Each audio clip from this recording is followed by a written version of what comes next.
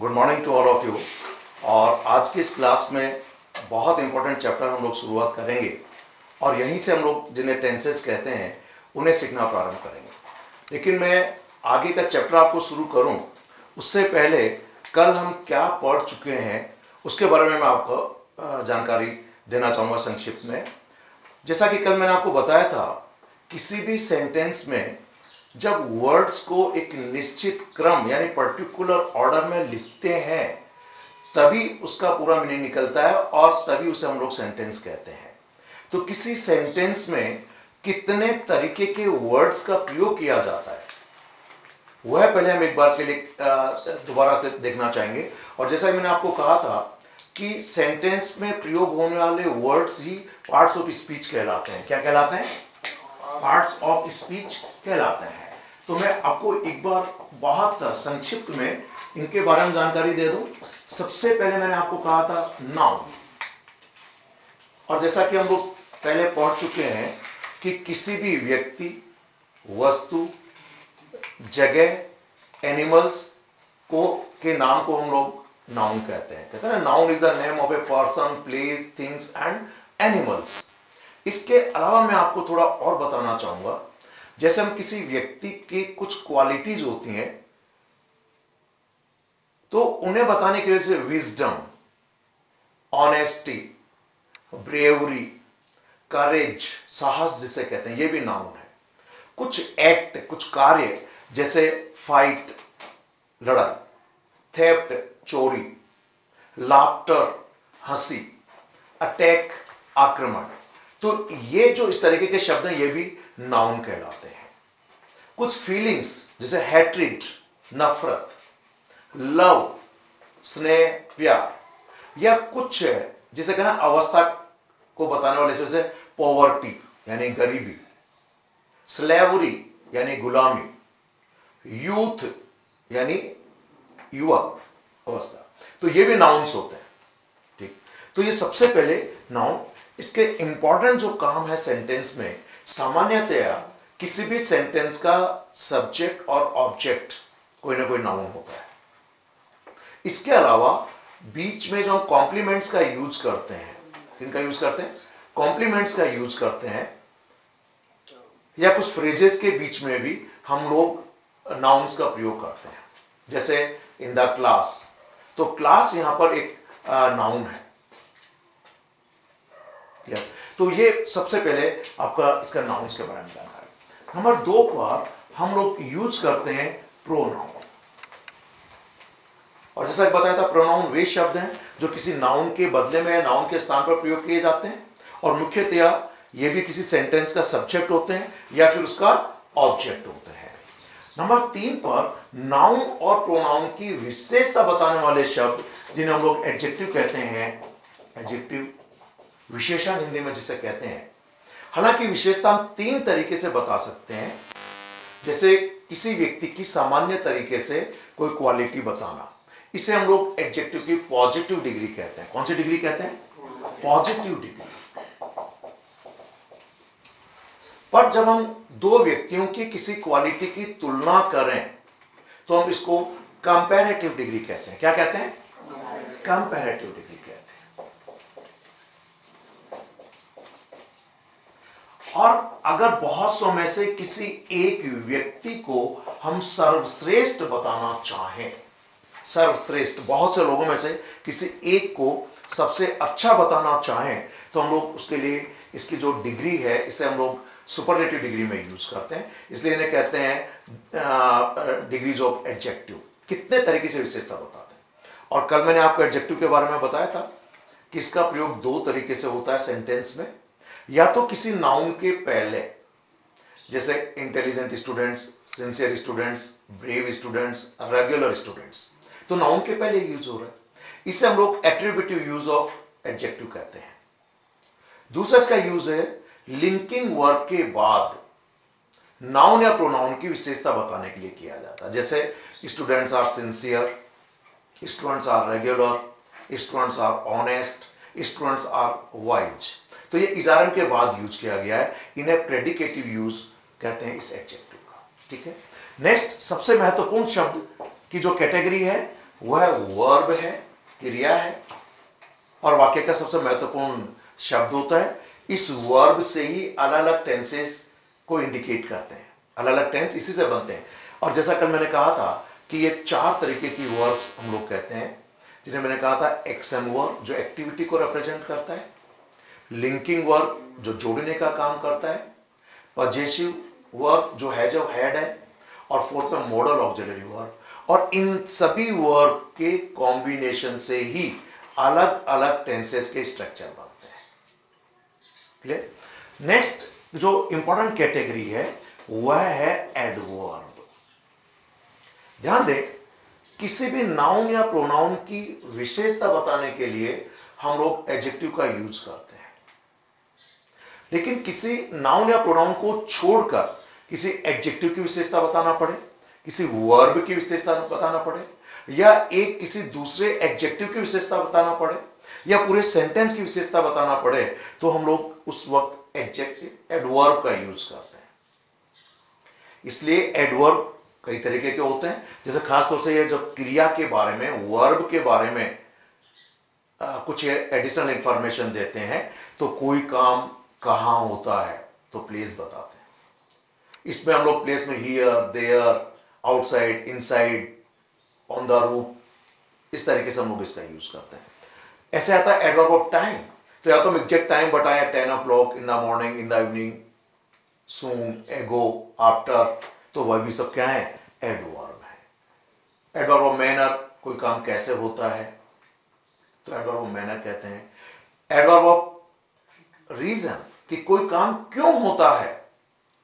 Y adverb of frequency कोई काम कितनी बार होता है? उसके आवृत्ति बताने के लिए भी always never often seldom sometimes rarely तो वो भी सब एड एडवर्ब है। नेक्स्ट वर्ड्स की जो इंपॉर्टेंट कैटेगरी है, वह है प्रेपोजिशन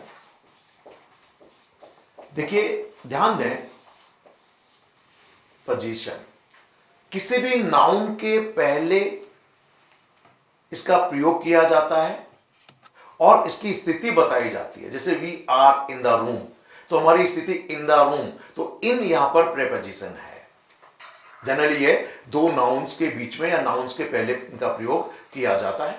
हालाँकि ये शब्द लिमिटेड हैं, लेकिन ग्रामर पॉइंट ऑफ़ व्यू से, लिखने के दृष्टिकोण से, बोलचाल के दृष्टिकोण से इनका बहुत महत्व है।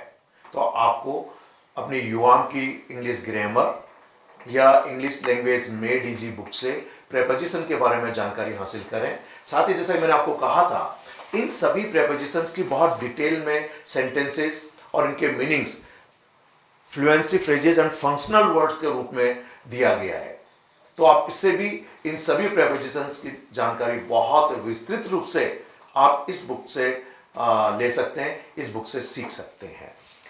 नंबर सेवंथ पे, जब हम दो शब्दों को, या दो से ज़्यादा शब्दों को, या सेंटेंसेस को जोड़ने का काम करते हैं। तो हम लोग कुछ कंजक्शन की ज़रूरत पड़ती है। तो एक कैटेगरी वर्ड्स की आ जाती है, वह है कंजक्शन ध्यान दें, ये भी है तो लिमिटेड पर है बहुत महत्वपूर्ण। जैसे एंड बट ऑल दो दो आइदर और neither nor not only but also else इस तरीके के जो शब्द हैं अदरवाइज़ ये सब कंजक्शन कहलाते हैं। और आठवीं कैटेगरी है, उसे हम लोग इंटरजेक्शन कहते हैं, पर इसका प्रयोग सामान्यतः हम लोग बोलचाल में आश्चर्य, दुख, तकलीफ़, खुशी, अचानक कोई फीलिंग उसको प्रकट करने के लिए करते हैं, और ये बहुत लिमिटेड वर्ड्स हैं। तो ये इंपॉर्टेंट कैटेगरीज हो गई। ध्यान दें नाउन और प्रोनाउन सब्जेक्ट या ऑब्जेक्ट का जनरली काम करता है। प्रोनाउन भी सब्जेक्ट और ऑब्जेक्ट का काम करता है। एडजेक्टिव नाउन या प्रोनाउन की विशेषता बताता है। वर्क की अलग अलग कैटेगरीज हैं। किसी काम के, किसी व्यक्ति द्वारा किए जाने वाले काम को भी रिप्रेजेंट करता है। किसी व्यक्ति के, का पोजीशन और ऑनरशिप भी दिखाता है इन वर्ब से। किसी व्यक्ति की क्वालिटी उसका प्रोफेशन उसकी एज उसकी नेशनलिटी उसकी कास्ट उसकी कम्युनिटी भी इस इन वर्ब के द्वारा लिंकिंग वर्ब के द्वारा बताया जाता है। एडवर्ब नाउन और प्रोनाउन को छोड़कर एडजेक्टिव या वर्ब या एडवर्ब या पूरे सेंटेंस की विशेषता बताने के लिए इसका प्रयोग किया जाता है। और प्रेपोजिशन कंजक्शन सेंटेंसेस को जोड़ने नाउन के पहले किया जाता है। ये एक बहुत महत्वपूर्ण बात होगी जो मैंने कल आपको बताया था।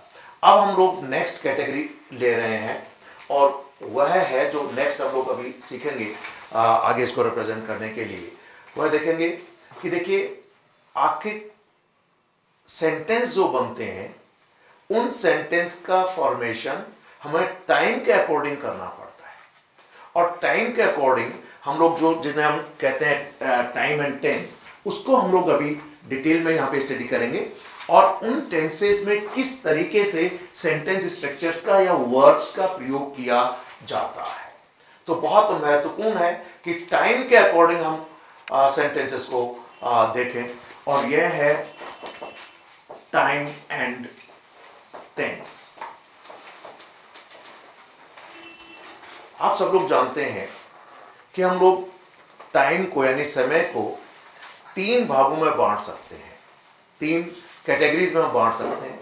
वह टाइम जो अभी वर्तमान में है तो हम लोग इसे प्रजेंट टाइम कहते हैं। क्या कहते हैं? प्रजेंट और टेंस के हिसाब से कहेंगे तो ये प्रजेंट टेंस कहलाता है। वर्तमान। नंबर दो पर समय जो बीत चुका है, जो जा चुका है, जो समय खत्म हो चुका है तो हम लोग इसे पास्ट कहते हैं और इसी से अपने पास्ट टेंसेस बनते हैं। क्लियर नंबर तीन पर जो महत्वपूर्ण कैटेगरी है, भविष्य, आने वाला समय। हम लोग जिसे फ्यूचर कहते हैं तो यहाँ पर फ्यूचर टाइम और फ्यूचर टाइम की किसी एक्टिविटी को जब रिप्रेजेंट करते हैं तो वह फ्यूचर टेंसेस हो जाते हैं। क्या हो जाते हैं? फ्यूचर टेंस तो ये टाइम के अकॉर्डिंग टेंस तीन तरीके के हो गए। Present tense past tense future tense अब जो काम हम लोग करते हैं, उस काम की अवस्था के अनुसार, उसकी स्टेट के अनुसार इनको और आगे कैटेगराइज किया जाता है। तो इसे हम लोग कहते हैं स्टेट ऑफ़ एन एक्शन यह हो गया टाइम ऑफ़ एन एक्शन किसी काम का समय को रिप्रेजेंट करने वाले प्रेजेंट पास्ट फ्यूचर जब बात करते हैं स्टेट ऑफ़ एन एक्शन तो इसमें सबसे पहले हम लोग कहते हैं इनडेफिनेट इनडेफिनेट अनिश्चित, जिसका हिंदी में शाब्दिक अर्थ है अनिश्चित।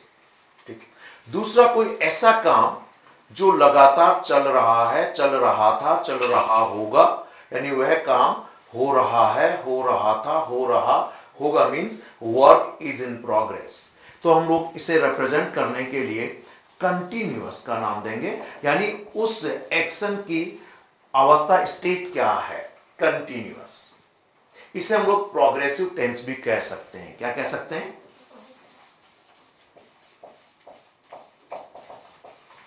प्रोग्रेसिव टेंस थर्ड नंबर पर है, कोई काम पूरा हो चुका है कंप्लीट हो चुका है परफेक्ट है वह काम। यानी कंप्लीटेड एक्शन कह सकते हैं। इसे हम लोग कहेंगे perfect tenses perfect tenses clear और फोर्थ नंबर पर किसी काम के होने की जो स्टेट को जो हम लोग एक्सप्रेस करते हैं, बताते हैं तो कुछ काम तो पूरा हो चुका अभी भी चल रहा है। यानी काम कब शुरू हुआ या कितने समय से वह काम चल रहा है, उसे रिप्रेजेंट करने के लिए हम लोग परफेक्ट कंटिन्यूस टेंस का प्रयोग करते हैं। तो नंबर फोर्थ पर इसे हम कहेंगे परफेक्ट कंटिन्यू तो ये एक तरीके से टाइम ऑफ़ एक्शन के अकॉर्डिंग तीन, में हमने इसको डिवाइड किया present past future state of an action के हिसाब से हमने क्या indefinite continuous perfect and perfect continuous अब ध्यान दें, ये जो चार स्टेट ऑफ़ एक्शन के अकॉर्डिंग जो हमने डिवाइड किए हैं, इन्हीं के अकॉर्डिंग टेंस बन जाते हैं। तो इसमें हम लोग कहेंगे प्रेजेंट इंडेफिनिट जो आपका ये यहाँ पर हम लोग कह सकते हैं नंबर दो प्रजेंट कंटिन्यूअस नंबर तीन प्रजेंट परफेक्ट और number four present perfect continuous तो हर टेंस के, यानी प्रजेंट पास्ट फ्यूचर इन सब के चार चार टेंसेज हो गए. क्लियर जैसे हम लोग कहेंगे present continuous sorry present indefinite present continuous present perfect, present perfect continuous. Then past के भी चार हो जाएँगे। Past indefinite past continuous past perfect past perfect continuous ठीक ऐसे ही फ्यूचर के भी चार टेंसेस हो जाएँगे। Future indefinite future continuous future perfect and future perfect continuous tenses ये एक तरीके से टेंसेस की हमारे यहाँ पर कैटेगरी जिन्हें हम लोग कहते हैं। अब हम इनको बहुत डिटेल में आगे पढ़ेंगे। ध्यान दे, देखिए कि जो भी टेंसेज हैं टाइम अकॉर्डिंग तो तीन भागों में हो चुके हैं। उसके अगले भाग में हम लोग अब इसको देखेंगे कि किस तरीके से हम इन्हें रिप्रेजेंट करते हैं और क्या क्या इंपॉर्टेंट बातें हैं, इनको किस तरीके से प्रयोग करते हैं क्या क्या इनकी पहचान होती है। तो अब मैं आपको जो इन टेंसेज में वर्ब्स का प्रयोग किया जाता है, या यूँ मान लीजिए कि प्रेजेंट इंडेफिनिट में फ़र्स्ट फॉर्म का प्रयोग किया जाता है पास्ट इंडेफिनिट में सेकंड फॉर्म का प्रयोग किया जाता है। फ्यूचर इंडेफिनिट में विल और शेल के साथ वर्ब की फ़र्स्ट फॉर्म का प्रयोग किया जाता है। कंटिन्यूस टेंसेस में वर्ब टू बी यानी प्रेजेंट में इज़ आर एम पास्ट में वॉज़ एंड वर फ्यूचर में शेल बी विल बी के साथ वर्ब की आईएनजी फॉर्म का प्रयोग किया जाता है। साथ में परफेक्ट टेंसेस में हैज़ हेड के बाद वर्ब की थर्ड फॉर्म का प्रयोग किया जाता है। और परफेक्ट कंटिन्यूस टेंसेस में हम लोग लिंकिंग वर्ब को परफेक्ट टेंस में यूज़ करेंगे। यानी have been has been had been के बाद वर्ब की आईएनजी फॉर्म का प्रयोग अब मैं थोड़ा आपको और जानकारी, कुछ वर्ब पैटर्न्स के बारे में दे रहा हूँ कि वर्ब कितने तरीके से काम करते हैं। जैसे कल हम लोग ऑलरेडी पढ़ चुके हैं कि वर्ब जो एक्सएम वर्ब है। अभी मैं यहाँ पर बात करना चाहूँगा। एक्सएम वर्ब की डिटेल में बात करना चाहूँगा कि किस तरीके से एक्सएम वर्ब का प्रयोग किया जाता है। तो ध्यान दें, बहुत इंपॉर्टेंट है ये, जो अभी मैं आपको बताने जा रहा हूँ कि कल हम लोग पढ़ चुके हैं कि जो भी वर्ब हैं, उनमें सब्जेक्ट प्लस वर्ब अब अगर ये वर्ब इंट्रांजिटिव है तो सब्जेक्ट एंड वर्ब इनसे भी सेंटेंस का मीनिंग पूरा हो जाता है।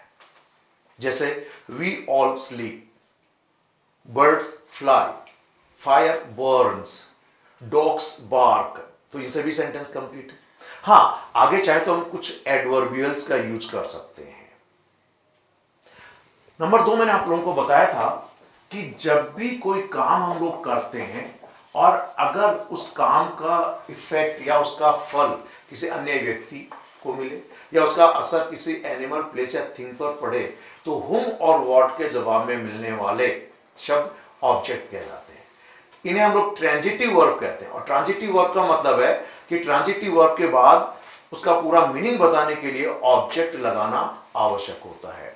तो यहाँ पर हम लोग ऑब्जेक्ट का प्रयोग करते हैं। ये दो मोटे तौर पे मैंने आप वर्ब के बारे में बताया था कि इंट्रांजिटिव वर्ब ऑब्जेक्ट नहीं लगेगा। ट्रांजिटिव वर्ब ऑब्जेक्ट लगेगा।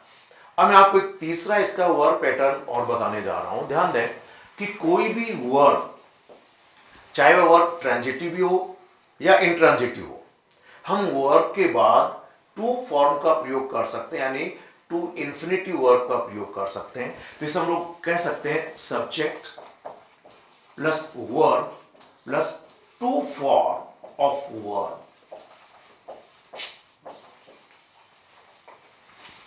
to form of हुआ। मैं आपको एक एग्ज़ाम्पल बताना चाहूँगा, जैसे we are learning to speak English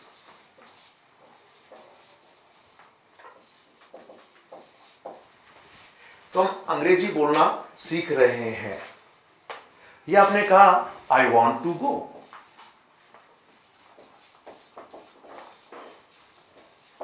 I want to go I decided to resign तो यहाँ पर जैसे कहा I decided to resign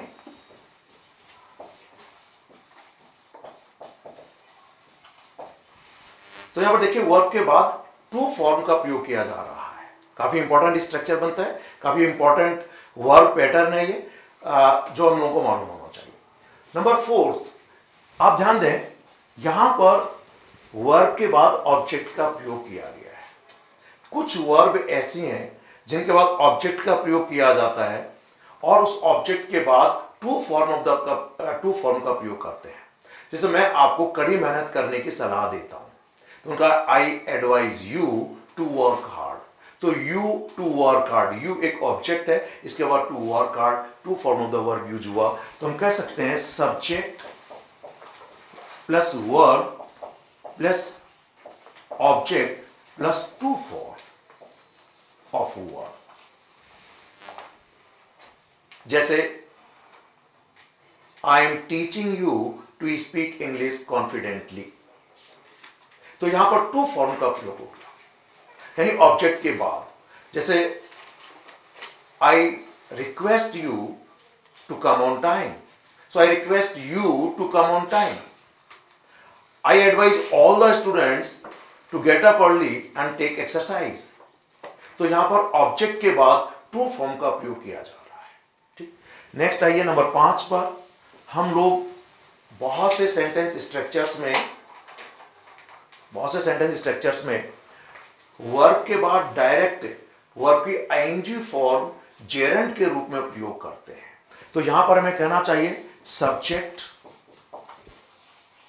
plus verb plus gerund और मैंने आपको इसके बारे में कल बताया था, जब वर्ब की आईएनजी फॉर्म वर्ब के साथ साथ नाउन का काम करे। किसा काम करे? नाउन तो उसे हम लोग जेरेंट कहते हैं। जैसे मैंने कहा आई इंजॉय प्लेइंग फुटबॉल तो जैसे मैंने कहा I enjoy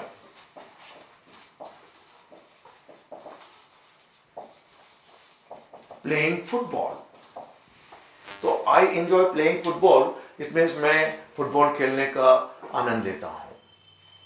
हम कह सकते हैं जैसे आई हेट बोरोइंग मनी मैं पैसा उधार लेता हूँ, यानी मैं पैसा उधार लेने को नफरत करता हूँ।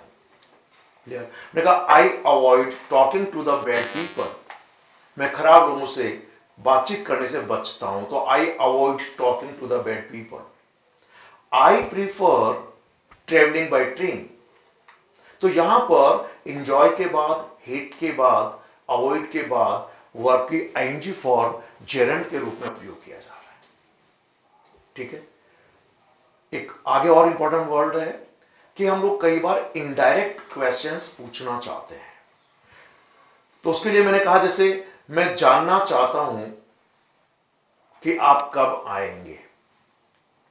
तो यहाँ पर, जैसे मैंने यहाँ पे लिखा कि सब्जेक्ट प्लस वर्ब प्लस, यहाँ पर डब्ल्यू एच या दैट क्लॉज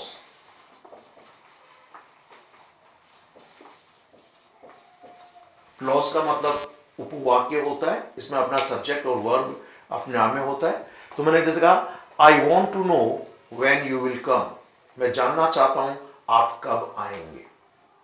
या I think that he is your brother so I think that he is your brother कि मुझे ऐसा लगता है कि वह आपका भाई है या मैं ऐसा सोचता हूँ कि वह आपका भाई है।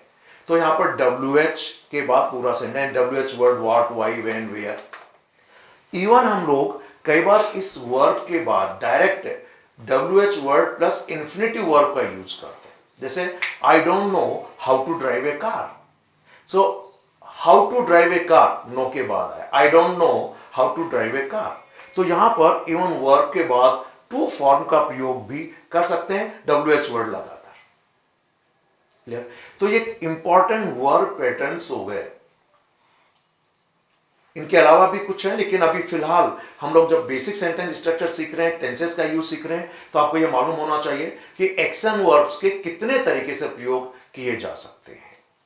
तो जो इंपॉर्टेंट वर्ब पैटर्न्स हैं, मैंने अभी आपको यहाँ पर बताया आप लोग इनको लिखने में, बोलने में न्यूज़पेपर्स में जब पढ़ते हैं या प्रयोग करें तो उसको ध्यान दें कि केवल वर्ब के बाद ऑब्जेक्ट ही नहीं लगता है। एक्शन वर्ब्स के बाद टू फॉर्म लग सकता है आईएनजी फॉर्म का प्रयोग किया जा सकता है, यानी जेरन जिसे कहते हैं। वर्ग ऑब्जेक्ट प्लस टू फॉर्म का प्रयोग किया जा सकता है। कभी दैट क्लॉज का प्रयोग कर सकते हैं डब्ल्यू एच क्लॉज का प्रयोग कर सकते हैं। हम लोग W H word plus infinity verb का प्रयोग कर सकते हैं। जैसे please tell me how to cook food कृपया मुझे बताइए, खाना कैसे पकाएँ? So please tell me how to cook food can you teach us how to speak English confidently so can you teach us how to speak English confidently हमें पढ़ा सकते हैं कि अंग्रेज़ी आत्मविश्वास के साथ कैसे बोल सकते हैं। तो ये सभी वर्ड पैटर्न्स हैं जो काफ़ी इंपॉर्टेंट माने जाते हैं। क्लियर है सब लोगों को? तो देखिए, ये पूरा एक आपके ग्रामर का पार्ट है। और जो अपनी बुक है इंग्लिश लैंग्वेज मेड इजी इन सभी के बारे में, इस बुक के पार्ट वन में refresh your grammar refresh your grammar उसमें इन सबके बारे में बहुत डिटेल से समझाया गया है।